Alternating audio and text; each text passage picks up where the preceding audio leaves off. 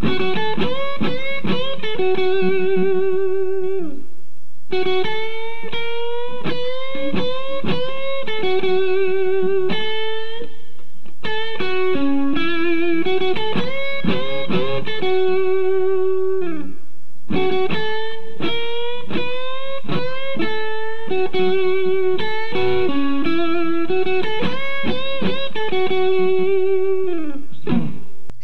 Up, you guys? Marty Schwartz here from GuitarJamz.com.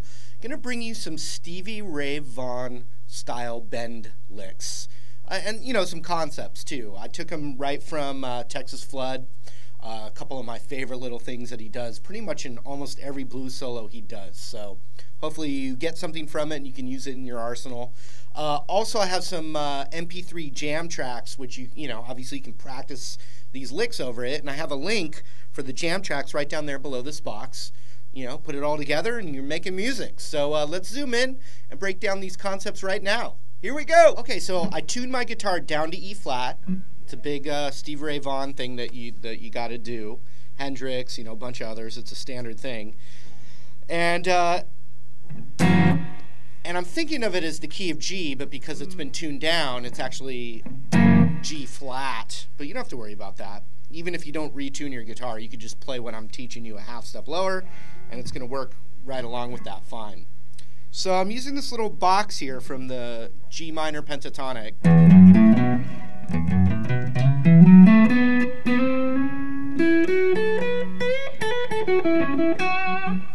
And so we're going to do, uh, here's the first lick idea. That's it, one more time.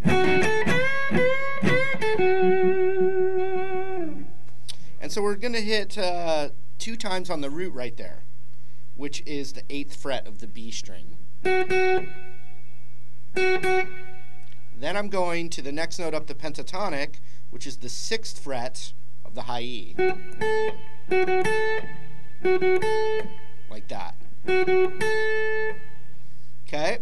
Then I'm not going to hear that natural note. I'm going to immediately bend up, and I'm using my ring finger and my middle finger together for strength, and even my index too, if I can. So when I'm doing this,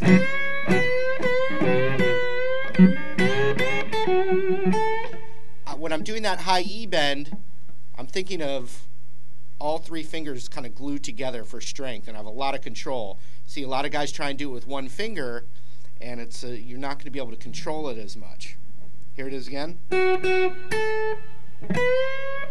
So I'm going right into the bend. I'm not going. I'm going. Do do do da bwe da ba. So you know, for this instance, you know, I mean, you could bend it 20 times, but we're going to do three.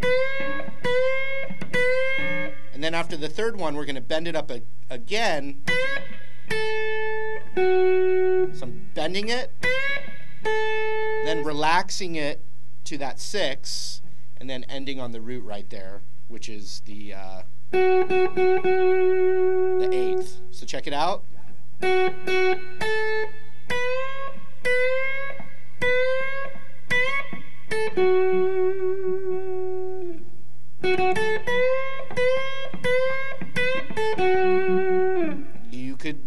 Do that bend less times.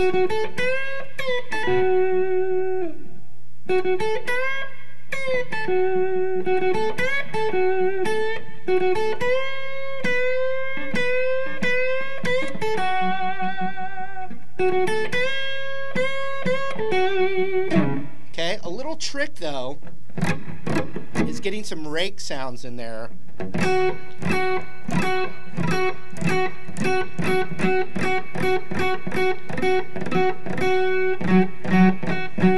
Harder to do if I'm not muting with my other fingers, but I'm getting some palm muting in there to get that string sound. And I'm draking the, uh, dra sorry, raking the strings across, and I get that. So that's a big uh, sound that you can get there.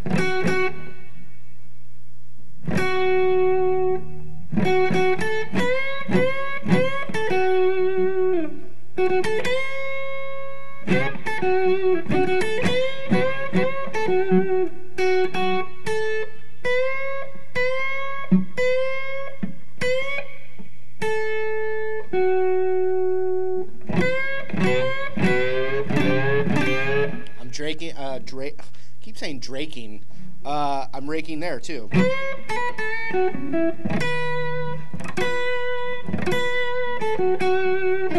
Okay, so once again, the first bend. One more.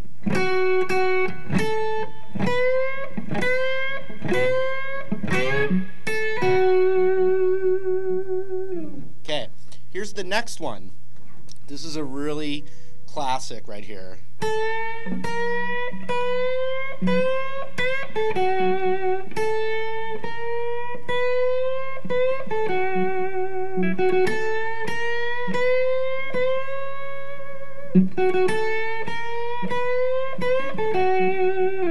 So we're, we're starting on that root again. So it starts the same way. Then we're going to that sixth fret of the high E, and we're just bending it just before it sounds out of tune with one finger.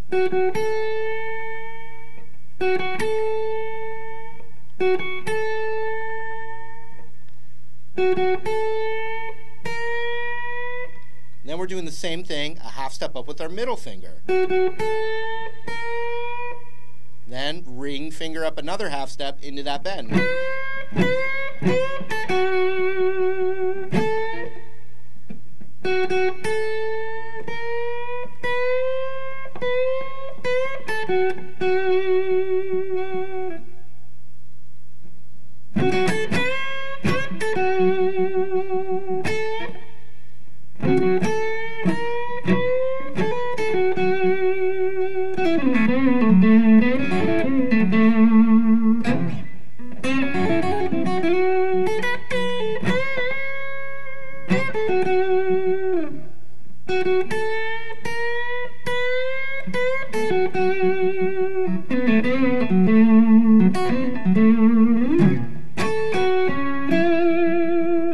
Okay, so the last lick is a lick he likes to do on the turnaround right before he kind of starts shredding again.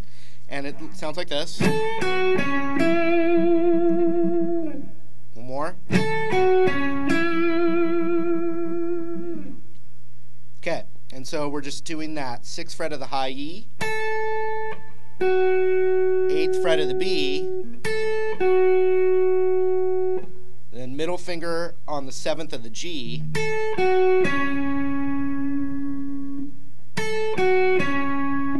then finally the six on the B. All